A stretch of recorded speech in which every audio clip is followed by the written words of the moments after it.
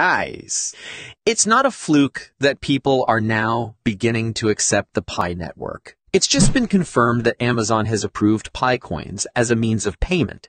I know some of you will say it's a lie, but before you start judging, check out this video first. I finally received the Amazon package with, that I ordered on Amazon Germany a while back, a couple weeks ago, and paid with Pi coins.